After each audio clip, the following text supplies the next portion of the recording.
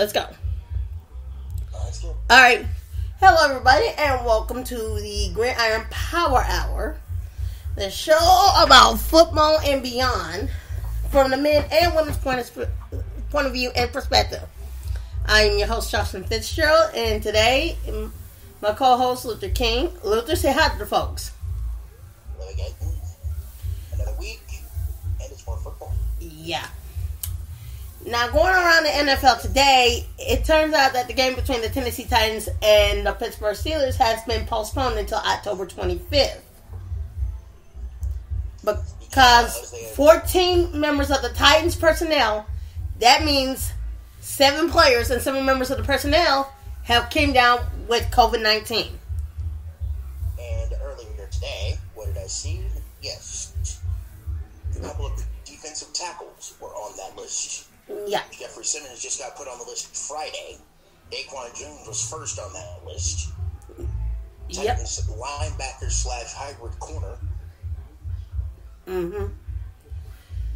And some members of the Titans personnel. on that list. Yeah, and sometimes uh, members of the Titans coaching personnel.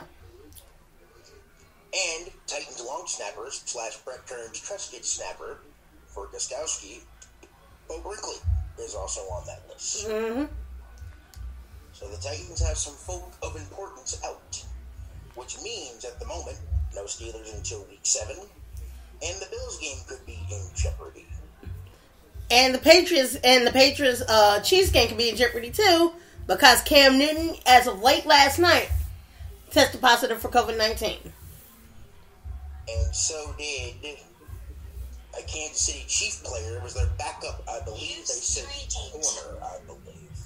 Yeah. So he is out. So the NFL's trying to figure out if they're going to do a doubleheader on Monday, which they were thinking about. Nope. If the Titans Steelers game was in They put- they pushed it- they pushed it to week seven. That they also would have had if more outbreaks of the Titans wouldn't have happened on a Tuesday. So hopefully we'll find something out I already I have already found out since the Titans was supposed to have a week a bye week on week seven. Their bye week is now going to be tomorrow It's this weekend.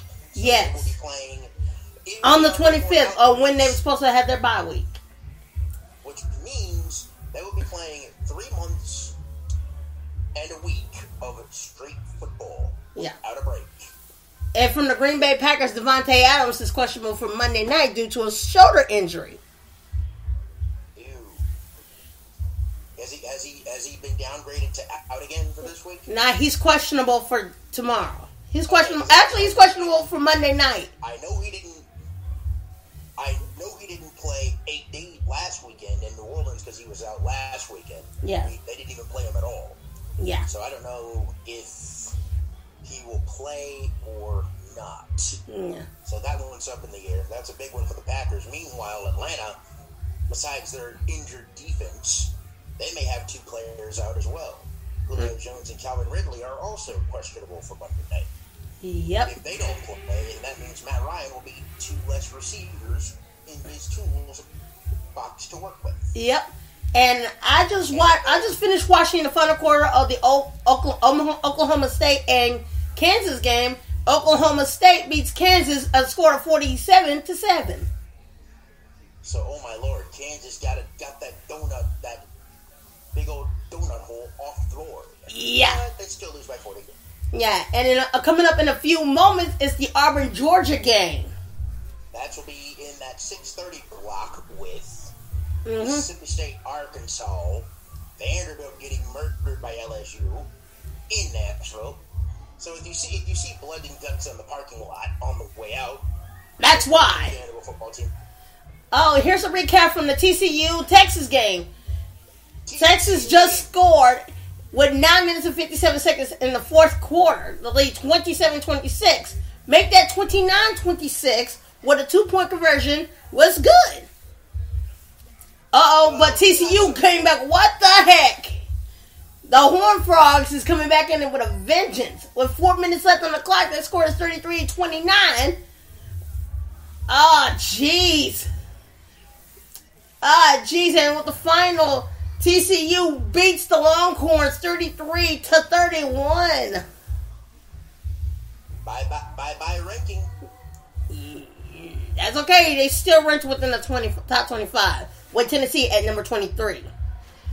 Texas is number 9. Well, They were at number 6. They went down 3. And good news, the Pac 12 is going to start their season next month. Well, unfortunately, they're going to be way behind everybody else. Yeah, they're going to have to play a lot of catch up to catch up. The Mid American Conference is also going to start their season, which means the one AA playoffs can resume in peace Yes. with a twist. hmm Well, they won't be doing without two bowl games this season. Actually, instead of the 2014 playoff, it is now reduced to the Sweet 16. This is football, and the basketball season's not even in effect yet. Well, same thing. Yeah. Oh man, Texas A&M is getting clobbered by number two Alabama, scored fifty-two to thirteen. Don't you mean 52 17? Oh, you're right. And Ole Miss is leading Kansas with eight, uh, Kentucky with eight minutes and twenty-three seconds on the clock and scored thirty-five to twenty-eight. Courtesy of the SEC network. It's 24-52 in a favor of Alabama with three minutes and twenty seconds left in the fourth quarter. And do you, do you think Texas A&M is going to score four touchdowns the way their offense has been looking? Yeah, no, not in this lifetime. Florida, uh, Florida beat South Carolina by 14 points, though. On their home field? Uh, no, I don't think so. Florida beats uh, Florida beats uh, Arkansas on their home turf. No, that's they beat South Carolina on their home turf. Oh yeah, that's right. It scored a 38 to 24. Arkansas gets Mississippi State. 16th ranked Mississippi State, that is. Yeesh. After beating LSU last week and smoking the dog snot out of them. Yep. But also along the lines of the NFL news, turn it turns out that Roger like Roger Goodell was not playing. There's another coach who got fined. This time it is Jason Garrett of the Giants. No wonder why the New York Giants are 0 3. Uh, well, Mr. Garrett, your, your wallet just got than Roger Goodell. He just got 'em. New York Football Giants, they would be losing their draft. Because in the story that I heard, speaking of that, big teams are caught not wearing masks or face coverings on the field or on the sideline. They Yep. to suspension and loss of draft picks and a fine. Yep. They're gonna be the next team with a list of fines. I'm not Take surprised.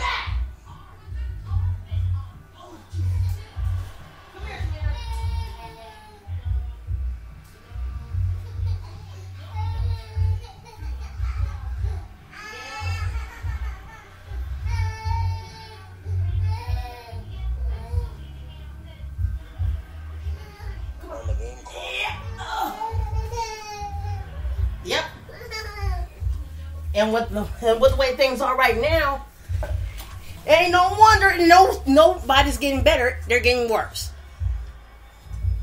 I hope that they put that Patriots Chiefs game either on Tuesday or if they need to make the adjustment. The Patriots doubleheader game is tomorrow at three twenty-five. Well, that game will not be played at the 25 tomorrow. No. That means that they're still playing, but the Patriots is going with their backup. And guess who their backup happens to be? A name that everybody had quickly had forgotten about, like ten years ago. A name that nobody has even heard of since uh, Tim Tebow. He was the Browns' first pick in the first place. Wait. Colt McCoy. Derek Anderson? No, Colt McCoy. Even worse. The Patriots has got McCoy. All My right. guess is going to be they are probably. Gonna, I, I'm wondering what the league's going to do since they're not going to play that game at 325. Are they going to play that game as a first ever double on Monday? Uh, that game is at 325 because the game that's going to be playing at 12 o'clock will be a Bills game. Standalone don't try to you know, force it away with Green Bay Atlanta. All right, and here's the score recap. The UT Volunteers beat Mizzou 35 to 22. Well, Yep, that, that was a that was a butt kicking of epic proportions. Oh, and you were right. Coach. You were right. The Chiefs Patriots game has been postponed too. So that's two games that's on the chopping block. Yeah, both teams have been. Now, Both like- players players on both teams have tested positive. So the game will be either a part of a doubleheader on Monday or played on Tuesday. I'm hoping it's on Tuesday. I hope they don't try to do another NFL doubleheader. Because Chiefs Patriots will have a ratings nice pickup, but then they got to figure out if they're going to game on. it turns out that it was the backup QB from the Chiefs that tested positive. Oh no! Three more, three more Titans uh, personnel tested positive. One player and two staff members today. They're up to 16, eight Then we go each. on the list. They're up to 16, eight each. Eight players and eight members in the personnel. Well, at least, at least the good news is at least we got two off the list. Which means the Titans Steelers game is going to be on the 25th. So that means the Titans and the Steelers, who both have a bye week in week seven, is going to be playing on week seven. Wait a minute, take that back. Their week seven games moved to week eight. Yep. Oi. And another news that uh, Falcons has got another wide receiver banged up and they're expecting to play. Well, they, they Against said- the Packers. What I saw from today that Ridley and Jones are questionable for Monday. Yep. And so is Davante Adams. Of, of Green Bay. I'll be right back. Mm.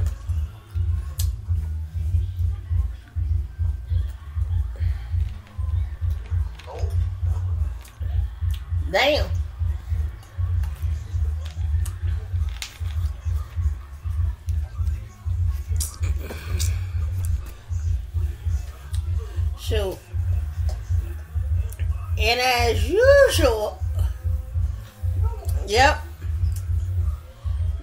Cam Newton tested positive.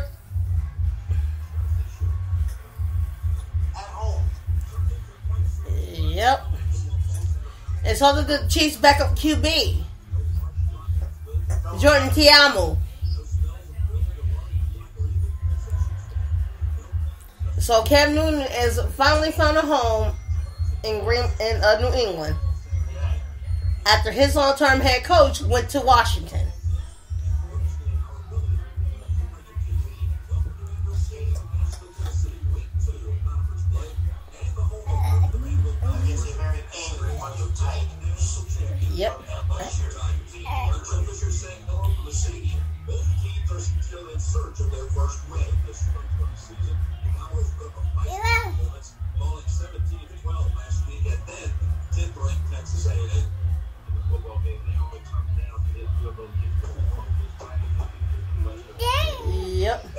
Going for the win here. Yep. This is 43. Yikes. Oh lordy. Oh, we got ACC action tonight on the ACC network. Number one Clemson takes on Virginia at eight o'clock. North Carolina is taking on Boston College, but they're ahead by twelve points. Speaking of updates, Memphis and SMU going to try a 43 yard field goal. Oh lordy, North Carolina State, the Wolfpack beat Pitt by a point. Last seconds, fourth quarter. Yeah, 23 seconds left in the fourth quarter. Jacksonville State versus Florida State. Florida State leading by 10 points, 34 to 24. Oh my god, Mike Norvell could actually get a win for a change? Congratulations, give him a cookie.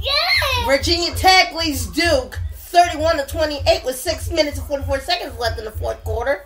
And Duke was leading that game. Yeah, they blew a lead. decided to wake up for a change.